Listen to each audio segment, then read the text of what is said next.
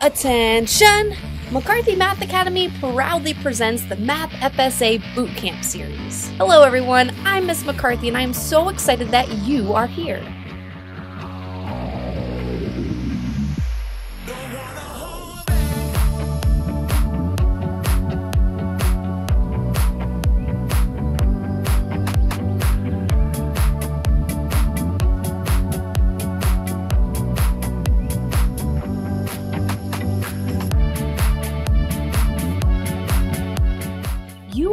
More than a test score.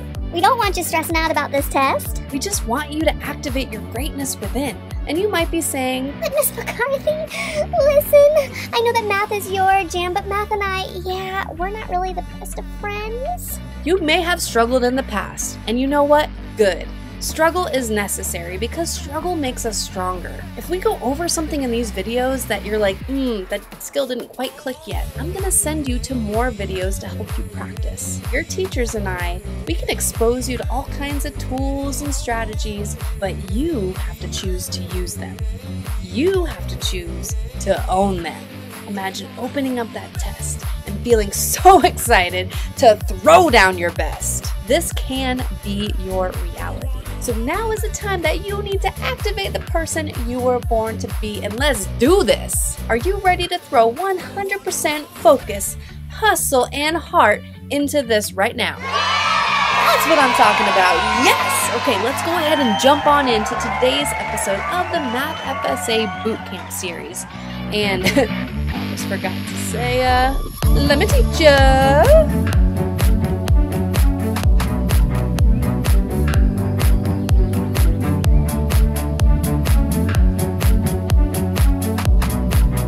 What is going on, fourth grade? Welcome to the Math FSA Bootcamp series. This is the last episode, episode number 28. All right, so before we get started, go ahead and make sure that you've got the worksheet that you need for today so you can mark up the text and solve everything out with me, all right? Where do you find the worksheet? Well, if you click below or somewhere around this video, you'll notice there should be a link. You just click that, it'll take you to my website where you can download the worksheet that you need for this episode along with all of the other episodes, all 28 of them in the fourth grade version of the FSA Bootcamp. So now it's your turn. Go ahead and pause the video, solve number one and number two on your own.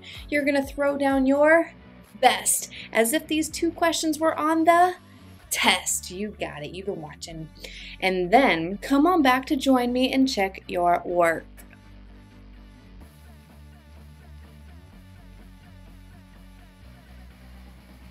Fourth grade! All right, so you know how we rock and roll here. First, we're going to identify that question type first. I'm seeing A, B, C, and D. So, what kind of question is this? It is a multiple choice. If you knew that, you are like an FSA master now. You're ready.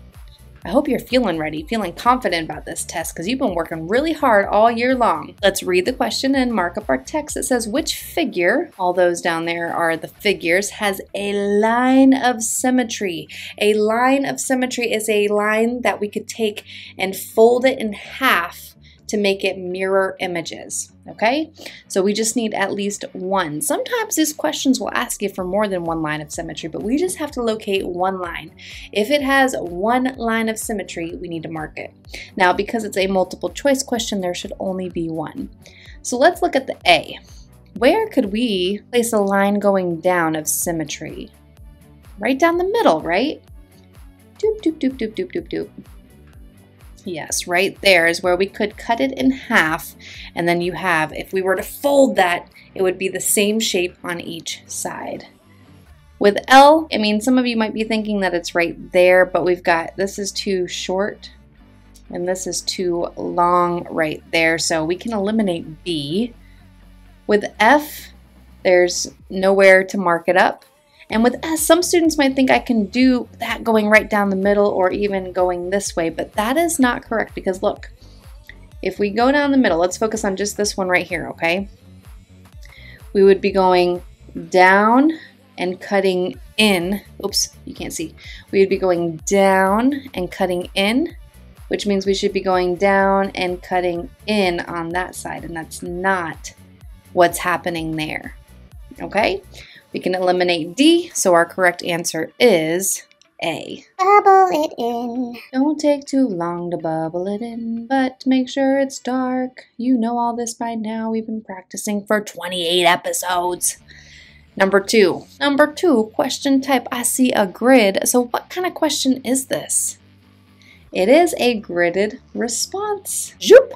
This says a hexagon is shown below. A hexagon, hexagon has six, they both have that X, six sides and angles. I know that because one, two, three, four, five, six, just a little extra information for you. But this says how many lines of symmetry does the hexagon have? Lines of symmetry. So how many times could we fold, how many different ways could we put a line where we could fold it in half and it would be a mirror image on both sides? Well, here it is. First, we could go down the middle. All right, this is a, this is also, hang on before I jump into that. This is called a regular hexagon or a regular polygon because all the sides are equal, and that matters. Because of that, we could do one line going here down the middle. Right? Oh, I made that a little over, but imagine I went right down the middle. Sorry about that. Let me try to be more careful. I could also go from tip to tip, so that would be two lines. You know what? I need to stop playing and actually get a straight edge going on here to show you. Okay, that's better. There's two lines, and this one really should be in more. Like that. If I had a pencil, I would have redone it. That's not even that good either. Ugh. All right, just stay with me, all right? I'll do better on the other ones. Then we could do right about here and right about there is the middle. That would be three lines. And then we would have from tip to tip four lines. And then we could go from the middle to the middle, five lines of symmetry to cut it in half. And then finally tip to tip again, six lines. So right here I'm gonna put oopsie because I kind of messed up on that one right there. But it should be one. So if you count that, it would be one line, one, which goes down here, one, two, which goes here, two, three, which goes here, three, four, four, five, the other end is five, and six, six. We have six lines of symmetry, not counting this Oops, a daisy one down the middle. Sorry about that. If I had a pencil, I would erase it, but I did it in pen, y'all. That's why you don't do math in pen unless you're this crazy math lady on YouTube who has to use pen so it looks better and shows up for you on camera. Just kidding. All right, so how many lines did it have? Six, and we can write our six lines either right there or you could also jot it down over there. I actually wrote something over there which would be okay. I'm going to bubble it in on this side though.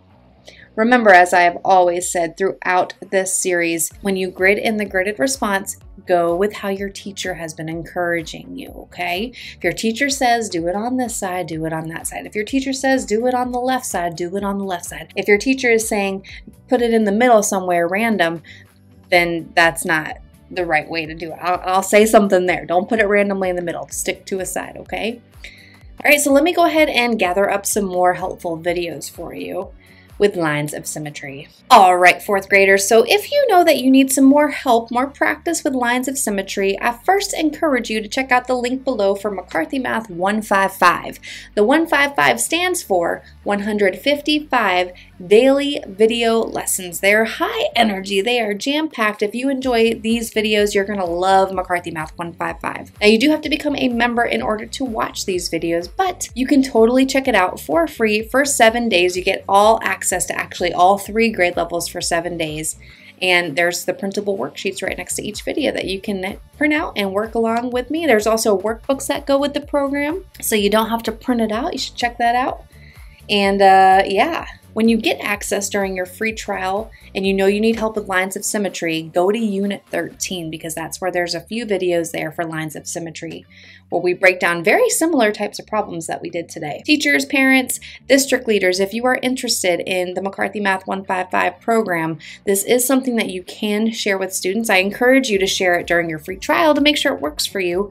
And I walk you through how to do that on the tutorials tab on my website. Just scroll down to video number five. It says something like how to share videos with students. I try to make it pretty obvious for you. The next link that I would like to talk about is the how to pass the Math FSA video that I've linked below or somewhere around this video. Now the how to pass the Math FSA series was the first series that I created on YouTube. It was back when the FSA for fourth grade was a computer-based test. So the questions, they look a little different here and there. I mean, there's still multiple choice and multi-select and tables and all of that, similar there, but um, it didn't have any gridded responses and there weren't any editing tasks that you've seen.